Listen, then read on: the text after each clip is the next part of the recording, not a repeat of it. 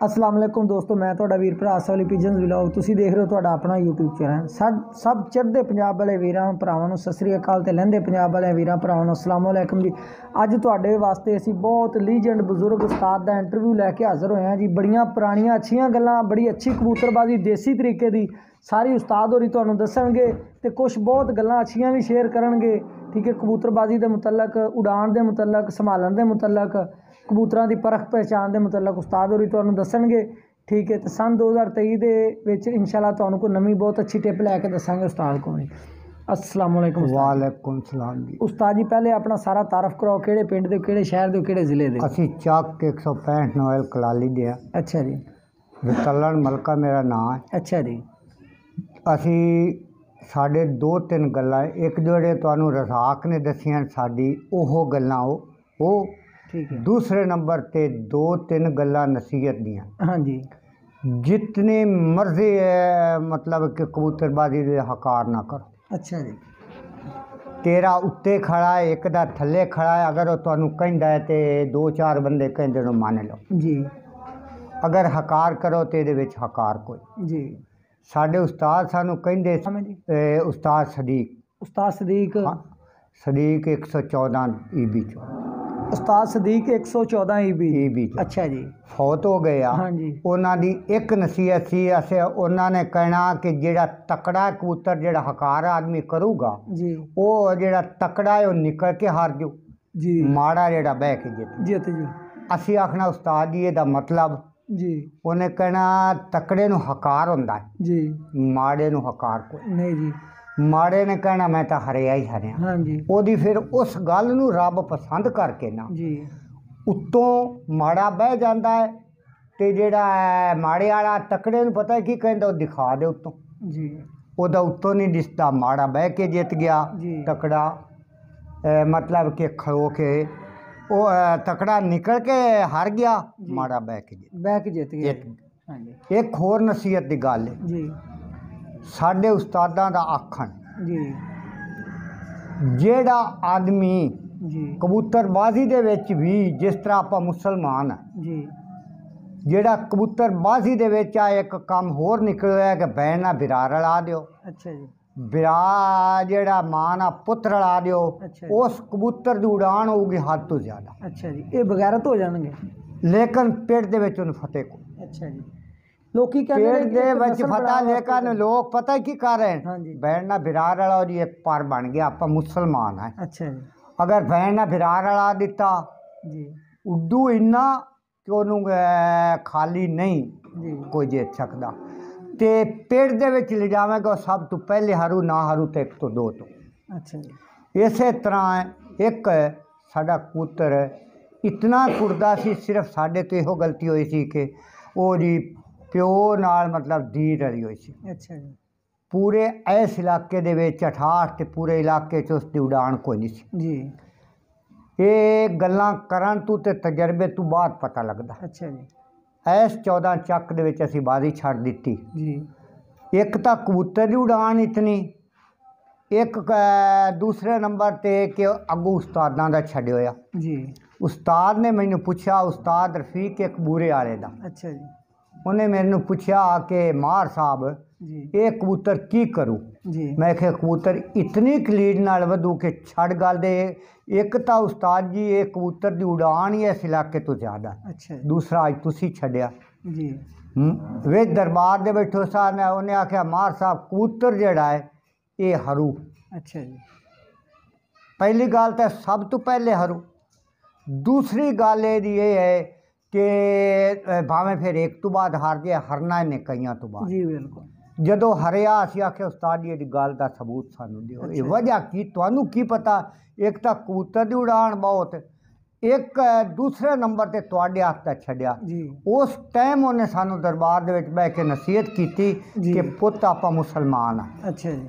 ਜਿਸ ਤਰ੍ਹਾਂ ਆਪਣੇ ਰਿਸ਼ਤੇ ਨਹੀਂ ਬਣਦੇ ਪਿਤਰੇਰ ਦੇ ਲਾ ਲਾ ਮਸੇਰ ਦਾ ਬਣਾ ਲਾ ਜਾਂ ਲਾ ਲਾ ਇਸ ਤਰ੍ਹਾਂ ਇਹਨਾਂ ਦੇ ਰਿਸ਼ਤੇ ਜੋੜੋ ਘਰ ਥੋੜੇ ਵੀ ਉੱਡਣਗੇ ਤੇ ਪੇੜੇ ਫਤਿਹ ਹੋਊ। ਅੱਛਾ ਜੀ।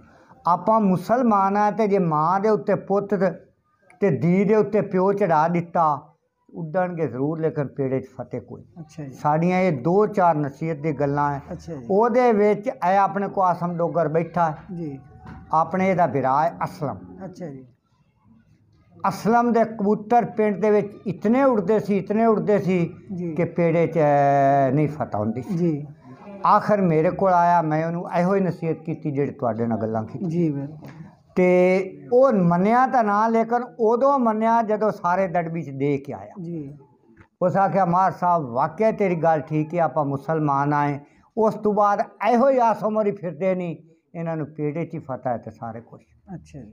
ਸਾਡੀਆਂ ਇਹ ਨਸੀਹਤ ਦੀ ਗੱਲਾਂ। ਅੱਛਾ, ਇੱਕ ਹੋਰ ਦੂਸਰੇ ਨੰਬਰ ਤੇ ਤੁਸੀਂ ਮਿਲਾਉਂਦੇ ਦੇ ਜੋੜੇ ਪਰ ਕਰਕੇ। ਅਸੀਂ ਆਪਣਾ ਤਜਰਬਾ ਇਹ ਕੀਤਾ ਹੈ ਕਿ ਕਬੂਤਰ ਛੱਡ ਦਿਓ ਜਿਹੜਾ ਆਪਣੇ ਆਪ ਜੋੜਾ ਇੱਕ ਦੂਜੇ ਨਾਲ ਰਲ ਜਾਊਗਾ ਉਹਦਾ ਤਾ ਦੂਸਰੇ ਨਾਲ ਸਾਡੇ ਤਜਰਬੇ ਤੋਂ ਜ਼ਿਆਦਾ ਹੋ ਅੱਛਾ ਜੀ। ਆਪਣੇ ਆਪ ਜੋੜਾ ਨਹੀਂ ਲਾਣਾ ਚਾਹੀਦਾ। ਆਪਣੇ ਆਪ ਅਸੀਂ ਤਾਂ ਮੈਂ ਤਾਂ ਆਪਣੀ ਜ਼ਿੰਦਗੀ 'ਚ ਕਦੇ ਨਹੀਂ ਲਾਇਆ। ਅੱਛਾ ਤੁਹਾਡੀ ਗੱਲ ਦਾ ਮਤਲਬ ਮੈਂ ਮੁਤਾਸਰ ਹੋ ਗਿਆ ਤੁਹਾਡੇ ਤੇ। ਆਪਣੇ ਆਪ ਜੋੜਾ ਜਿਉ ਆਪਣੇ ਆਪ ਮਾਂ ਧੀ ਰਲ ਗਏ ਅ, ਪਿਓ ਨਾ ਨਾ ਵੇਚ ਛੱਡੋ ਫਿਰ ਤਾਂ ਉਹ ਕੰਮ ਹੋ ਗਿਆ।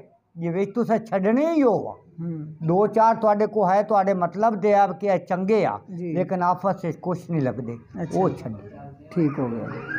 ਤੇ ਜਿਹੜੇ ਅੱਜ ਕੱਲ ਉਸਤਾਦ ਸ਼ਾਗਿਰਦਾਂ ਨੂੰ ਕੁਛ ਨਹੀਂ ਦੱਸਦੇ ਜਾਂ ਸ਼ਾਗਿਰਦ ਉਸਤਾਦਾਂ ਦੇ ਗਿਲੇ ਕਰਦੇ ਨੇ ਠੀਕ ਇਹ ਕੀ ਵਜ੍ਹਾ? ਹੈ ਇਹਦੀ ਵਜ੍ਹਾ ਇਹ ਹੈ ਹਾਂਜੀ। ਮਤਲਬ ਇਹ ਕਿ ਉਸਤਾਦ ਇਹ ਵਜ੍ਹਾ ਕਿ ਅੱਜ ਕੱਲ ਦੇ ਬੱਚਿਆਂ 'ਚ। ਇੱਕ ਕਹਾਣੀ ਮੈਂ ਤੇ ਦੱਸਣਾ ਨਾ। ਹੂੰ। ਜਦੋਂ ਅਖਲਾਕ ਹੀ ਨਹੀਂ ਰਹਿ ਗਿਆ ਤੇ ਆਪਣਾ ਇੱਕ ਦੂਜੇ ਦੀ ਇੱਜ਼ਤ ਨਹੀਂ ਰਹੇਗੀ ਅੱਛਾ ਜੀ।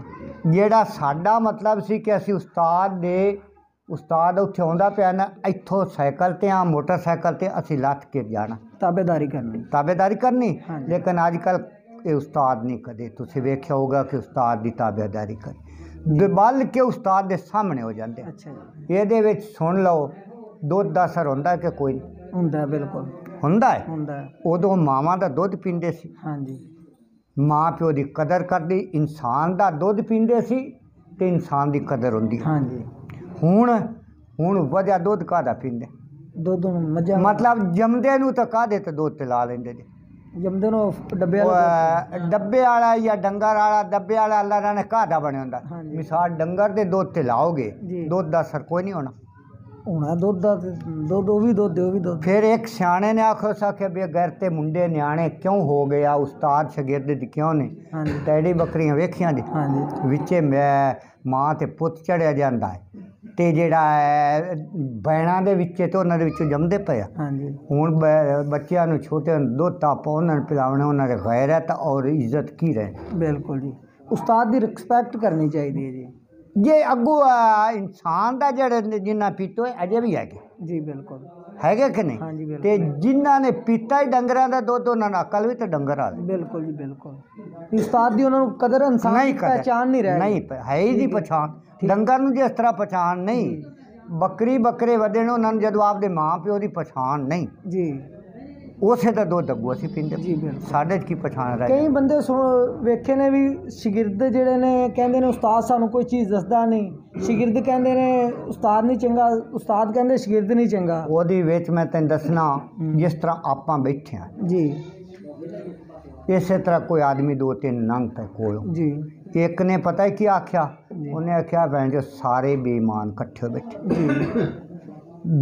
ਵਿੱਚੋਂ ਕੋਈ ਉੱਠਣ ਲੱਗਾ ਵੀ ਇਹਨਾਂ ਲਿੱਤਰ ਮਾਰੀ ਉਹਨਾਂ ਆਖਿਆ ਨਾ। ਨਾ ਇਹ ਕੰਮ ਨਹੀਂ ਮੈਂ ਤੁਹਾਨੂੰ ਦੱਸਣਾ। ਦੂਜੇ ਆਖਿਆ ਅੱਧਾ ਕੇ ਨਚ ਇਮਾਨ ਹੈ। ਜੀ। ਤੀਜੇ ਆਖਿਆ ਨਹੀਂ ਯਾਰ ਸਾਰੇ ਇਮਾਨਦਾਰ ਆ। ਜੀ। ਬਾਅਦ ਦੇ ਵਿੱਚ ਜਦੋਂ ਚਲੇ ਗਏ ਉਹ ਸਿਆਣੇ ਬੰਦੇ ਉਹਨਾਂ ਨੇ ਪਤਾ ਕੀ ਆਖਿਆ। ਉਸ ਆਖਿਆ ਜਿਹੜਾ ਖੁਦ ਬੇਈਮਾਨ ਸੀ ਉਹਨੂੰ ਸਾਰੇ ਬੇਈਮਾਨ ਮਾਲੂਮ ਹੁੰਦੇ ਸੀ। ਜਿਹੜੇ ਨੇ ਆਖਿਆ ਅੱਧਾ ਕਿਮਾਨ ਹੈ ਉਹਦੇ ਵਿੱਚ ਅੱਧਾ ਇਮਾਨ ਹੈ। ਜਿਨੇ ਆਖਿਆ ਯਾਰ ਇਹਨਾਂ ਚ ਮੈਨੂੰ ਕੋਈ ਬੇਈਮਾਨ ਨਹੀਂ ਦਿਸਦਾ ਜੀ। ਉਹ ਚੋਰੀ ਸਾਹਿਬ ਖੁਦ ਹੀ ਜਿਹੜਾ ਨਾ ਇਮਾਨਦਾਰ ਸੀ। ਜੀ। ਇਸ ਵਜ੍ਹਾ ਜਿਉ ਦੀ ਆਪਣਾ ਹੈ ਨਾ ਜਿਸਮ। ਜੀ। ਜਿਸ ਤਰ੍ਹਾਂ ਤੂੰ ਆਪਣੇ ਮਾਂ ਬਾਪ ਨਾਲ ਕੀਤੀ ਤੇਰੇ ਨਾਲ ਉਸੇ ਤਰ੍ਹਾਂ ਹੋਣੀ ਤੇ ਤੂੰ ਮਰਨਾ। ਬਿਲਕੁਲ ਜੀ। ਜੇ ਤੂੰ ਉਸਤਾਦ ਨਾਲ ਕੀਤੀ ਹੋਏ ਤੇ ਅੱਗੋਂ ਤੇ ਜਿਹੜੀ ਅਗਾਂਹ ਸ਼ਾਗਿਰਦ ਕਰਨੇ ਆ ਤੇ ਤੇਰੇ ਸ਼ਾਗਿਰਦਾਂ ਵੀ ਉਹ ਕਰਨ। ਬਿਲਕੁਲ ਇਹ ਹੋਏ ਰੂਟੀਨ ਚੱਲ ਪਈ ਉਸ ਹਿਸਾਬ ਨਾਲ ਜਿਸ ਹਿਸਾਬ ਨਾਲ ਉਹਨੇ ਰੂਟੀਨ ਚੱਲ ਪਈ ਹੈ। ਅਸੀਂ ਤਾਂ ਆਪਣੀ ਜ਼ਿੰਦਗੀ ਦੇ ਵਿੱਚ ਉਸਤਾਦ ਦੇ ਤੈਨੂੰ ਦੱਸਿਆ ਸਾਹਮਣੇ ਹੋ ਕੇ ਅਸੀਂ ਸਵਾਰੀ ਤੋਂ ਥੱਲੇ ਉਤਰ ਕੇ। ਜੀ ਬਿਲਕੁਲ। ਲੇਕਿਨ ਹੁਣ ਉਹ ਗੱਲਾਂ ਹੈ ਨਹੀਂ। ਉਹ ਕੋਈ ਇਤਰਾਮ ਨਹੀਂ ਰਿਹਾ। ਕੋਈ ਕੁਛ ਨਹੀਂ ਰਿਹਾ। ਨਹੀਂ ਉਸਤਾਦ ਜਿਹੜੇ ਸ਼ਾਗਿਰਦਾਂ ਨੂੰ ਦੱਸਦੇ ਕੁਛ ਨਹੀਂ। ਵੀ ਇੰਨੇ ਪੈਸੇ ਦੇ ਦਿਓ ਫਲਾਣੀ ਸ਼ੈ ਬਣਾਣੀ ਹੈ। ਉਹਨਾਂ ਨੂੰ ਦੱਸਣ ਉਹ ਬਣਾਉਣ। ਉਸਤਾਦਾਂ ਦੀ ਵੀ ਤਾਂ ਕੋਈ ਕਮੀ ਕੱਢੋ ਉਹਦੀ ਵਜ੍ਹਾ ਫਿਰ ਜਿਹੜੀ ਆਮਦਨ ਹੁੰਦੀ ਉਹ ਨਹੀਂ ਹੁੰਦੀ। ਉਸਤਾਦਾਂ ਕਾਰੋਬਾਰ ਬਣਾ ਉਸਤਾਦਾਂ ਇੱਕ ਕਾਰੋਬਾਰ ਬਣਾ ਲਿਆ। ਅੱਛਾ। ਸਾਡੇ ਵਕਤ ਦੇ ਵਿੱਚ ਜੀ। ਇਹ ਕਾਰੋਬਾਰ ਨਹੀਂ ਸੀ। ਅੱਛਾ ਜੀ। ਅਸੀਂ ਮਤਲਬ ਬਲ ਕੇ ਦੱਸਦੇ ਸੀ ਕਿ ਕਿਸੇ ਨੂੰ ਦਸੀਏ ਨਾ ਜ਼ਿੰਦਗੀ ਦਾ ਪਤਾ ਨਹੀਂ। ਬਾਅਦ ਵਿੱਚ ਯਾਦ ਕਰੇ। ਹਾਂਜੀ। ਲੇਕਿਨ ਹੁਣ ਉਸਤਾਦ ਆਪਣੇ ਪੁੱਤਰਾਂ ਨੂੰ ਦੱਸਣਗੇ ਉਹਨਾਂ ਵਾਸਤੇ ਕਿ ਕਮਾਈ ਬਣ ਗਈ ਹੈ। ਅੱਛਾ ਜੀ। ਜਿੱਥੇ ਬਹਿੰਦੇ ਆ। ਇਹ ਪੈਸੇ ਮੁਕਾ ਕੇ ਨਹੀਂ ਬਹਿੰਦੇ। ਹਾਂਜੀ। ਵੇ ਇੰਨੇ ਦੇ ਦੇ ਤਾਂ ਅਸੀਂ ਅੱਜ ਛੱਤ ਉਡਾਵਾਂਗੇ। ਛੱਤ ਉਡਾਵਾਂਗੇ। ਅੱਛਾ ਜੀ। ਕਦੇ ਲੇਕਿਨ ਅੱਗੇ ਸਾਡੇ ਵਕਤ ਦੇ ਵਿੱਚ ਰਜ਼ਾਕ ਵੀ ਬੈਠਾ ਸੀ ਇਹ ਕੰਮ ਦੇ ਕਦੇ ਨਹੀਂ ਜੀ। ਔਰ ਅਜੇ ਵੀ ਅਸੀਂ ਤਾਂ ਇਹ ਕੰਮ ਕਦੇ ਨਹੀਂ ਕੀਤਾ। ਅੱਛਾ ਜੀ। ਸਾਡੇ ਕੋਲ ਜੋ ਕੁਛ ਹੋਵੇ ਅਸੀਂ ਖੁਸ਼ ਹੋ ਕੇ ਅਗਲੇ ਨੂੰ ਦੱਸਦੇ ਤਾਂ ਕਿ ਜ਼ਿੰਦਗੀ 'ਚ ਕਦੇ ਮਰਨ ਤੋਂ ਬਾਅਦ ਵੀ ਯਾਦ ਰਹੇ ਯਾਦ ਰਹੋ ਤੁਹਾਡਾ ਨਾਮ ਜ਼ਿੰਦਾ ਰਵੇ ਅੱਛਾ ਉਸਤਾਦ ਜੀ ਜਦੋਂ ਕਿਉਂ? ਅਖਰ ਅਸੀਂ ਨਹੀਂ ਚੀਜ਼ਾਂ ਦੱਸਦੇ। ਅੱਛਾ। ਜਾਂ ਇੱਕ ਬਿਮਾਰ ਕਬੂਤਰ ਹੈ ਉਹਦੀ ਚੀਜ਼ ਨਹੀਂ ਦੱਸਦੇ। ਹੂੰ। ਇੱਕ ਕਾਂਡਿਆਂ ਤੋਂ ਰੁਕਿਆ ਚੀਜ਼ ਨਹੀਂ ਦੱਸਦੇ। ਜੀ। ਉਹਦੇ ਵਿੱਚ ਇਨਸਾਨ ਨਾਲ ਵੀ ਧੋਖਾ ਤੇ ਜਾਨਵਰ ਨਾਲ ਵੀ ਜਾਨਵਰ ਨਾਲ। ਜਾਨਵਰ ਨਾਲ ਤੇ ਨਹੀਂ ਧੋਖਾ ਜਾ- ਤੇ ਜਾਨਵਰ ਇੱਕ ਐਸੀ ਚੀਜ਼ ਉਹਦੇ ਨਾਲ ਧੋਖਾ ਨਹੀਂ ਕਰਨਾ। ਕੋਈ ਐਸੀ ਚੀਜ਼ ਦੱਸ ਕੇ ਜਾਓ ਤਾਂ ਕਿ ਮਰਨ ਤੋਂ ਬਾਅਦ ਵੀ ਯਾਦ ਰਹੇ। ਬਿਲਕੁਲ ਜੀ। ਅੱਛਾ ਉਸਤਾਦ ਜੀ ਹੁਣ ਕਬੂਤਰਾਂ ਦੀ ਪਰ ਪਟਾਈ ਕਬੂਤਰ ਲੋਕਾਂ ਦੇ ਸੋਕੜਾ ਹੁੰਦਾ ਬਿਮਾਰ ਹੁੰਦੇ ਨੇ ਉਹਨਾਂ ਦੇ ਮੁਤਲਕ ਤੁਸੀਂ ਕੀ ਕਹਿੰਦੇ ਹੋ? ਸੋਕੜਾ ਬਿਮਾਰ। ਹਾਂ ਕਬੂਤਰ ਉਲਟੀਆਂ ਕਰਨ ਲੱਗ ਪੈਂਦੇ ਨੇ। ਉਹਨਾਂ ਨੂੰ ਕੋਈ ਦੇਸੀ ਨੁਸਖਾ ਸ਼ੇਅਰ ਕਰੋ। ਸਾਡੇ ਤੇ ਦੇਸੀ ਨੁਸਖਾ ਇਹ ਹੁੰਦਾ ਸੀ ਵੀ ਆ ਉਲਟੀ ਕਰਨਾ ਤੇ ਅਸੀਂ ਮਤਲਬ ਇਹ ਗਰਮੀ ਤੋਂ ਅਸੀਂ ਆਂਦੇ ਸੀ। ਹੂੰ। ਅਸੀਂ ਤਾਂ ਦੇਸੀ ਲੱਸੀ ਦੇ ਦਿੰਦੇ ਸੀ ਅੱਛੇ ਅਨੀ ਬੱਕਰੀ ਦੀ ਉਹ। ਦੇਣੇ ਜੀ। ਸੋਕੜੇ ਤੋਂ ਉਹ ਸਹੀ ਹੁੰਦੀ ਸੀ। ਸਾਡੇ ਉਸਤਾਦਾਂ ਨੇ ਦੱਸਣਾ ਕਿ ਆ ਮੱਖੀ ਨਹੀਂ ਫਿਰਦੀ। ਹਾਂਜੀ। ਜਿਹਨੂੰ ਸੋਕੜੇ ਦਾ ਤਜਰਬਾ ਕਰਨਾ ਹੈ। ਵੀ ਇਹਨੂੰ ਵਾਕਿਆ ਸੋਕੜਾ ਜਾਂ ਕੋਈ ਹੋਰ ਬਿਮਾਰੀ ਹੈ? ਅੱਛਾ ਜੀ। ਜ਼ਿੰਦਾ ਮੱਖ- ਫੜ ਲਓ। ਅੱਛਾ ਜੀ। ਉਹ ਜ਼ਿੰਦਾ ਹੀ ਉਹਦੇ ਅੰਦਰ ਕਰ ਦਿਓ। ਅੱਛਾ ਜੀ। ਅਗਰ ਉਹਨੂੰ ਹੋਊਗਾ ਸੋਕੜਾ ਉਹਨੂੰ ਜਦੋਂ ਥੱਲੇ ਛੱਡੇਗਾ ਇੱਕ ਮੱਖੀ ਦੋ ਦੇਣ ਤੋਂ ਨਾ। ਉਹ ਜਿਸ ਤਰ੍ਹਾਂ ਪਰ ਨਹੀਂ ਆਪਾਂ ਕਬੂਤਰ ਆਉਂਦੇ ਨੂੰ ਸੰਭਾਲਨੇ ਆ ਕਿ। ਨਹੀਂ? ਤੇ ਉਹ ਪਰ ਛੱਡਦਾ ਹੈ। ਉਹ ਮਤਲਬ ਤਾਜ਼ਾ ਹੁੰਦਾ ਹੈ। ਇਸ ਤਰ੍ਹਾਂ ਉਹ ਕਰੇ ਤਾਂ ਉਹਨੂੰ ਸਮਝ ਲੈ ਸੋਕੜਾ ਹੈ। ਅਗਰ ਇਹ ਗੱਲ ਨਹੀਂ ਕਰਦਾ ਉਹਨੂੰ ਫਿਰ ਸੋਕੜਾ ਦੀ ਬਿਮਾਰੀ ਹੋ ਰਹੀ।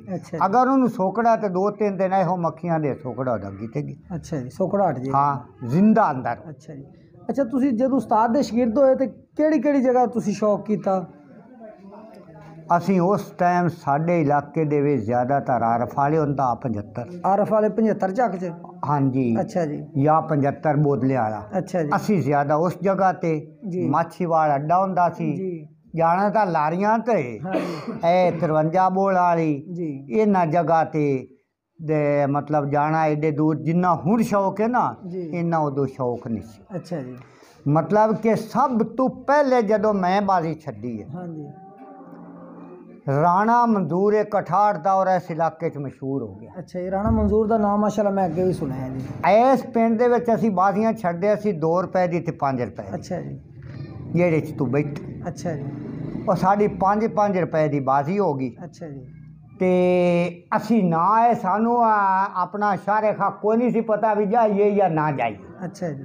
5 ਰੁਪਏ ਦੀ ਬਾਜ਼ੀ ਰਾਣਾ ਮਨਜ਼ੂਰ ਅ, ਤੇ ਰਜ਼ਾਕ ਆਪਣਾ ਉਹ ਮੇਰਾ ਸੀ ਅਰਸ਼ਦ ਸੀ ਇਹ ਉਹ ਇਸ ਪਿੰਡ 'ਚ ਆ ਗਏ ਖਾਲੀ ਮੋੜ ਕੇ ਮੇਰੇ ਪਿੰਡ ਚਲੇ ਗਏ ਜੀ ਬਿਲਕੁਲ ਮੈਂ ਉਦੋਂ ਮਤਲਬ ਇਸ ਮੁੰਡੇ ਤੋਂ ਥੋੜਾ ਜਿਹਾ ਵਾ- ਹੈ ਸੀ ਵਡੇਰਾ ਜੀ ਪਰ ਸ਼ੁਰੂ ਤੋਂ ਹੀ ਮੋੜ ਤੈਨੂੰ ਗੱਲ ਕਿਸੇ ਦੀ ਨਹੀਂ ਕਦੇ ਨਹੀਂ ਸਾਰੀ ਸੀ ਹਮ, ਮੇਰੇ ਪਿੰਡ ਚਲੇ ਗਏ ਕਿੰਨੇ ਵੀ ਦੜਾ 16 ਦਾ ਰੱਖਿਆ ਹਾਂਜੀ 16 ਦਾ ਦੜਾ ਕ- ਕਿਹਨੇ ਰੱਖਿਆ ਸੀ? ਮੈਨੂੰ ਸਦਾਇਆ।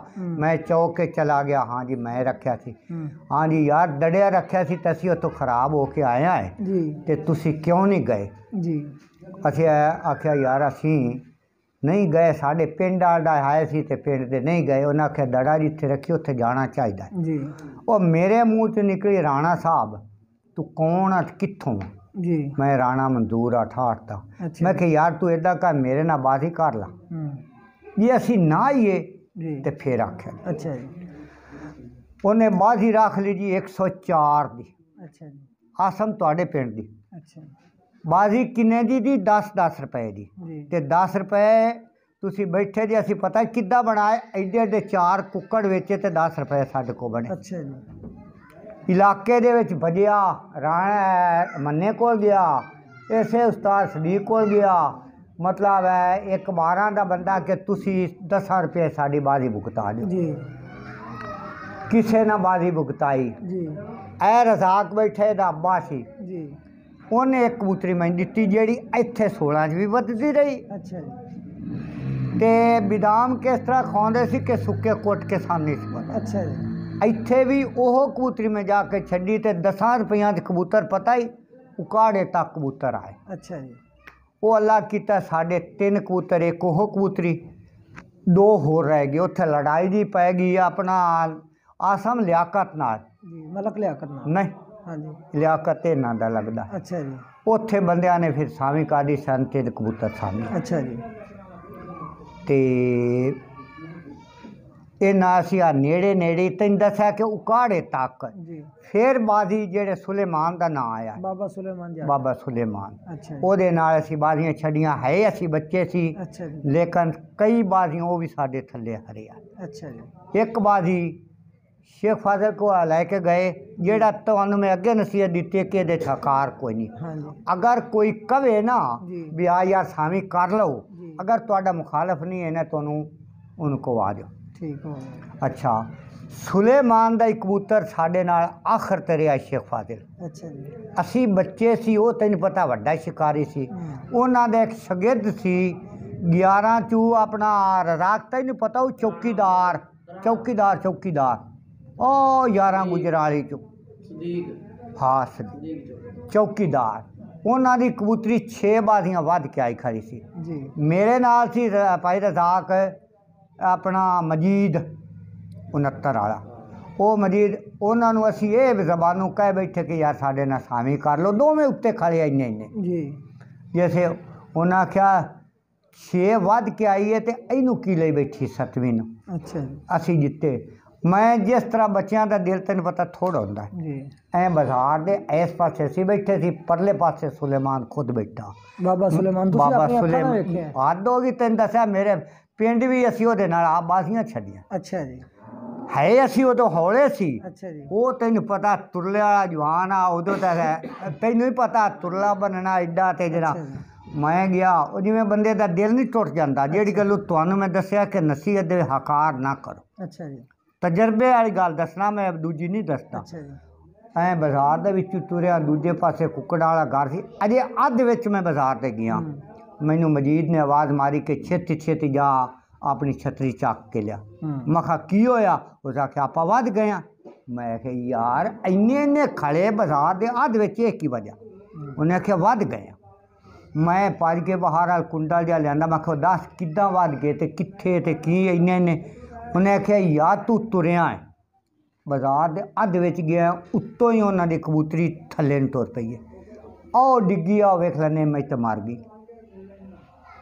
ਤੇ ਆਪਣੀ ਆਓ ਖੜੀ ਹੈ। ਵਜ੍ਹਾ ਉਸ ਉਹਨਾਂ ਦਾ ਹਕਾਰ ਹੀ ਇੰਨਾ ਬੋਲਿਆ ਹੈ ਕਿ ਜਿੰਦੀ ਵਜ੍ਹਾ ਤੂੰ ਹੋਰ ਸਾਡੇ 'ਚ ਕੋਈ ਮਤਲਬ ਇਹਦੇ ਵਿੱਚ ਕੋਈ ਨਹੀਂ ਸੀ, ਸਿਰਫ ਹਕਾਰ।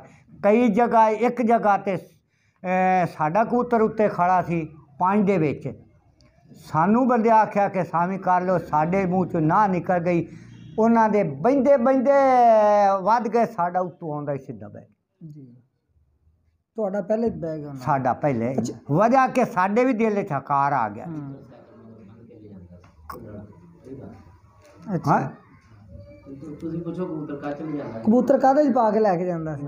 ਕਬੂਤਰ ਅਹ, ਸਾਈਕਲ ਤੇ ਜਾਣਾ ਛਤਰੀ ਦੇ ਉੱਤੇ ਹੀ ਕਪੜਾ ਕਰ ਲੈਣਾ ਸੀ ਜੋਟਾਂ 'ਚ ਕਦੇ ਨਹੀਂ ਲੈ ਕੇ ਗਏ ਅੱਛਾ ਛਤਰੀ ਦੇ ਉੱਤੇ ਕਬੂਤਰ ਬਾ ਕੇ ਉੱਤੇ ਪਾ ਕੇ ਕੱਪੜਾ- ਉੱਤੇ ਉੱਤੇ ਕਪੜਾ ਪਾ ਲੈਣਾ ਛਾ ਛਾਟ ਨੂੰ ਉੱਤੇ ਪੁੱਠਾ ਕਰ ਲੈਣਾ। ਅੱਛਾ ਜੀ। ਉਸੇ ਨੂੰ ਐ ਫੜ ਲੈਣਾ ਜਾ ਕੇ ਤੇ ਉਹਦੇ ਪੈਰਾਂ ਡੋਰੀ ਲੈਣਾ ਉਸੇ ਨੂੰ ਪਾਣੀ ਦੇ ਕੇ ਅੱਛਾ ਜਿਹੜੀ ਛਾੜ ਦੇ ਸਾਈਡਾਂ ਤੇ ਝਾਲਰ ਲਾਈ ਹੁੰਦੀ ਸੀ ਉਹ ਉਹੀ ਉਹੀ ਉੱਤੇ ਬਲੇਟ ਕੇ ਉੱਤੇ ਕਰਕੇ ਵਿੱਚ ਕਬੂਤਰ ਛੱਡ ਲੈਣਾ।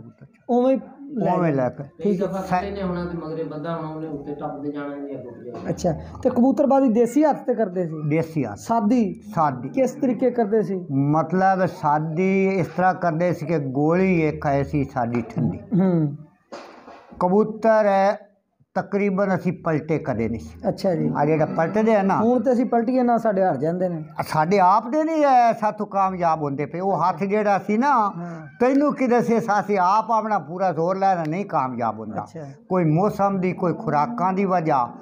ਇਹ ਜਿਹੜੇ ਅਸੀਂ ਬਾਜ਼ ਔਕਾਤ ਪਿਛਲੀ ਗੱਲ ਅਸੀਂ ਦੱਸੋ। ਕਬੂਤਰ ਉਸੇ ਗੱਲ ਤੇ ਕਰ ਰਹੇ ਹਾਂ। ਅਸੀਂ ਕਬੂਤਰ ਸਾਡਾ ਉਸਤਾਦ ਦਾ ਇੱਕ ਕੰਮ ਸੀ ਕਿ 1 ਕਿਲੋ ਬਦਾਮ ਜੀ। ਉਹਦੇ ਨਾਲ ਜਿਹੜਾ ਚਾਰ ਦੜੇ ਨਹੀਂ ਵੱਧਦਾ ਨਾ ਹੂੰ। ਉਹ ਕਬੂਤਰ ਬਾਹਰ ਸੀ ਅੱਛਾ ਜੀ। ਕਿ ਪਾਈ ਇਹਦੇ ਵਿੱਚ ਇੱਕ ਛਟਾਂਗ ਨਿਕਲ ਜੀ। ਇੱਕ ਛਟਾਂਕ ਨਾਲ ਜਿਹੜਾ ਨਹੀਂ ਵੱਧਦਾ ਉਹਦੀ ਵਜ੍ਹਾ ਉਦੋਂ ਬਦਾਮਾਂ ਦੀ ਨਹੀਂ ਸੀ। ਹੂੰ। ਜਿਹੜਾ ਕਬੂਤਰ ਵੇਖਿਆ ਵੀ ਕੱਢਿਆ ਹੂੰ। ਇੱਕ ਬਦਾਮ ਵਾਲਾ ਉਹ ਘੱਟ ਬੈਂਦਾ ਪਿਆ ਇੱਕ ਵੱਤਰ ਦੇ ਵਿੱਚ ਕਬੂਤਰ ਹੈ ਹੂੰ। ਉਹ ਬਿਲਕੁਲ ਸਾਰਿਆਂ ਨੂੰ ਕੱਟਦਾ ਪਿਆ। ਹੈ। ਹੂੰ। ਉਹ ਵੱਤਰ ਵਾਲੇ ਨੂੰ ਛੱਡ ਦਿਓ ਦੜਾ ਕੁੰਜ ਕੇ ਆਊਗਾ। ਅੱਛਾ ਜੀ ਬਦਾਮਾਂ ਤੇ ਨਾ ਬਦਾਮਾਂ ਦੇ। ਲੇਕਿਨ ਹੁਣ ਪਤਾ ਕੀ ਰੋਲਾ ਹੈ। ਹੁਣ ਇਸ ਤਰ੍ਹਾਂ ਹੈ ਕਿ ਬੰਦਾ ਨਾ ਵਾਵਾ ਜਾਣ ਵਾਲਾ। ਉਹਨੂੰ ਜਦੋਂ ਬਿਜਲੀ ਲੱਗਦੀ ਆ ਉਹ ਉਹਨਾਂ ਚਿਰ ਉਹਨੂੰ ਬਿਜਲੀ ਫੜੀ ਰੱਖਦੀ ਹੈ ਜਿੰਨਾ ਚਿਰ ਉਹਦੇ ਵਿੱਚ ਖੂਨ ਹੈ। ਅੱਛਾ ਜੀ। ਜਦੋਂ ਖੂਨ ਖਤਮ ਹੋ ਗਿਆ ਉਹਨੇ ਛੱਡ ਉਦੋਂ ਛੱਡ ਕੇ ਉਧਰ ਮਾਰਦੀ ਹੁਣ ਵਾਲੀ ਗੋਲੀ ਦਾ ਇਹ ਕੰਮ ਹੈ ਕਿ 10 20 ਸਿਰ ਬਦਾਮ ਖਾਓ ਖੂਨ ਇਕੱਠਾ ਕਰੋ। ਜਦੋਂ ਖੂਨ ਜਿੰਨਾ ਚਿਰ ਹੈ ਉੱਤੇ ਖੜਾ ਰਿਹਾ ਹੈ। ਜਦੋਂ ਖੂਨ ਖਤਮ ਹੋ ਗਿਆ ਉਹਨੇ ਛੰਡ ਕੇ ਉਧਰ ਮਾਰਨਾ ਭਾਵੇਂ ਉਹ ਜਿੱਤੇ ਜਾ। ਜਿੱਤੇ ਨਾ ਜਿੱਤੇ। ਠੀਕ ਇਹੋ ਹੀ ਗੱਲ ਪੁੱਛਣ ਦਾ ਸਾਡਾ ਮਕਸਦ ਸੀ। ਤੁਹਾਡੀ ਜਿਹੜੀ ਦੇਸੀ ਗੋਲੀ ਸੀ। ਦੂਸਰੇ ਨੰਬਰ ਤੇ ਤੁਸੀਂ ਅੱਜ ਕੱਲ ਗੋਲੀ ਨਾਲ ਕਬੂਤਰ ਸਾੜ ਲੈਂਦੇ ਜੀ। ਹਾਂਜੀ। ਸਾੜ ਕੇ ਤੁਸੀਂ ਬਾਅਦ ਵਿੱਚ ਮੱਖਣੀ ਦਿਵਾਉਂਦੇ ਜੀ। ਅੱਛਾ ਜੀ। ਮੱਖਣੀ ਦੀ ਬਜਾਏ ਇੱਕ ਤ੍ਰਿਫਲਾ ਹੈ। ਅੱਛਾ ਜੀ। ਔਲੇ ਬੇੜੇ ਹਰੀੜ। ਅੱਛਾ ਉਹਨਾਂ ਦੀ ਮਕਦਾਰ ਕੀ ਹੋਣੀ ਚਾਹੀਦੀ ਹੈ? ਤਿੰਨਾਂ ਚੀਜ਼ਾਂ ਦੀ? ਬਰਾਬਰ। ਅੱਛਾ। ਔਰ ਉਹਨੂੰ ਮਤਲਬ ਉਹਦਾ ਪਾਣੀ ਇਸ ਤਰ੍ਹਾਂ ਬਣਾਏ ਆਏ ਚੁੰਡੀ ਨਹੀਂ। ਅੱਛਾ ਜੀ ਮੈਂ ਤੁਹਾਡੀ ਗੱਲ ਟੋਕਣਾ। ਬਰਾਬਰ ਜਿਹੜੀ ਉਹ ਫਿਰ ਤ੍ਰਿਫਲਾ ਤੇ ਨਾ ਬਣਿਆ ਉਹ ਤਿੰਨੇ ਚੀਜ਼ਾਂ ਬਰਾਬਰ ਹੋ ਗਈਆਂ। ਠੀਕ ਔਲਾ ਬੇੜਾ ਰੇੜ ਇਹਨਾਂ। ਤਿੰਨਾਂ ਨੂੰ ਇੱਕੋ ਮਕਦਾਰ ਰੱਖੀ ਇੱਕੋ ਮਿਕਦਾਰ ਰੱਖ ਲਿਓ ਤਿੰਨਾਂ ਚੀਜ਼ਾਂ ਦੇ ਤ੍ਰਿਫਲਾ ਬਣੇ ਨਾ। ਅੱਛਾ ਜੀ। ਉਹਦਾ ਕਦੀ ਤਜਰਬਾ ਕਰਕੇ ਵੇਖ ਲਈ ਜਦੋਂ ਮਤਲਬ ਤੁਸੀਂ ਆਂਦੇ ਨੇ ਵੀ ਹੁਣ ਗੋਲੀ ਨੇ ਸਾੜ ਦਿੱਤਾ ਹੈ ਸਾੜ ਕੱਢਣਾ। ਜੀ। ਤੁਸੀਂ ਮੱਖਣ ਨਾਲ ਕੱਢਦੇ ਜੀ। ਕਦੇ ਉਹਦੇ ਨਾਲ ਕੱਢ ਕੇ ਇੱਕ ਉਹਦੇ ਨਾਲ ਕੱਢ ਵੇਖਿਆ ਇੱਕ ਮੱਖਣ ਨਾਲ ਕੱਢ ਅੱਛਾ ਜੀ। ਜੀ। ਹਾਂਜੀ ਬੰਦੀ ਵਾਲੇ ਦਿਨ। ਹਾਂਜੀ ਇਹਨਾਂ ਨਾਲ।